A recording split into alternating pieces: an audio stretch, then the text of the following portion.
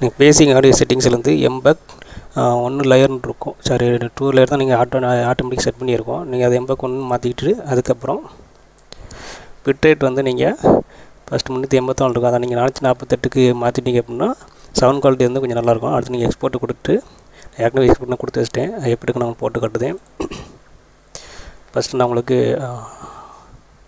நல்லா இருக்குது பார்த்திங்கன்னா லைட்டாக கொஞ்சம் பில்லர் அடிக்குது. என்ன காரணம்னா அது கிராஃபிக்ஸ் கார்டு வந்து இதில் வந்து ப்ரீமியம் அவ்வளோ எனக்கு ஒர்க் ஆகலை.